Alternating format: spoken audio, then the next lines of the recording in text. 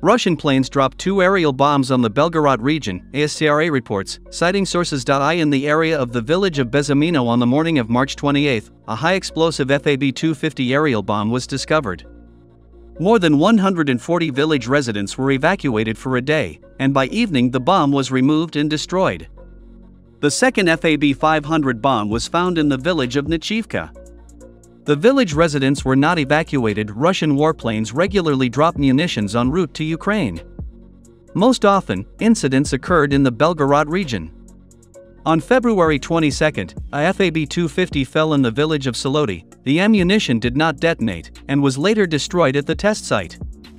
On January 27, FAB 250 was found in the village of Postnikov, Korochansky district. On January 2, a Russian rocket fell on the village of Petropavlovka in the Voronezh region and exploded.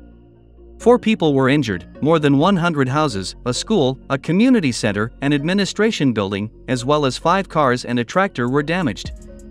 The region's governor, Alexander Gusev, said that the authorities would have to rebuild nine houses. Another abnormal discharge of aircraft ammunition occurred on April 20, 2023 during the flight of a Su-34 bomber over Belgorod.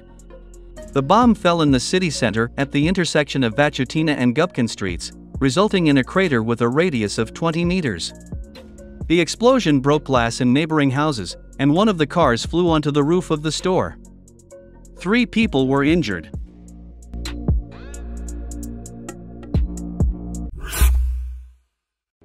We will destroy F 16s just as we destroy today's tanks, armoured vehicles, and other equipment.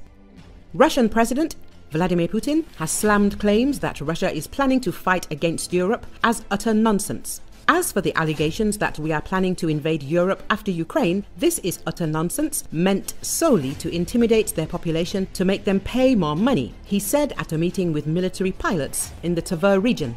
He noted that this narrative unfolds amid the slumping economy and deteriorating living standards. This is absolutely clear and is acknowledged by everyone. This is not propaganda. This is what is really happening. They need to justify themselves, so they are intimidating their population with a potential Russian threat while seeking to expand their dictation onto the entire world.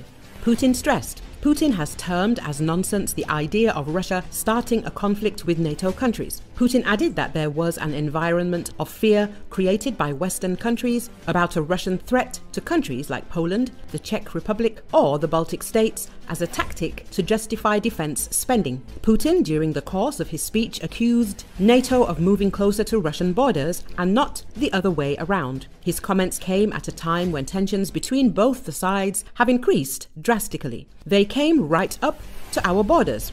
Did we go across the ocean to the borders of the United States? No, they are approaching us, and they have come very close. Putin added. Meanwhile, Putin has said that if Western countries supply Ukraine with F 16 fighters, the aircraft will not alter the situation on the battlefield. If they supply F 16s, and they are talking about this and are apparently training pilots, this will not change the situation on the battlefield. And we will destroy the aircraft just as we destroy today's tanks, armoured vehicles, and other equipment, including multiple rocket launchers, Putin said.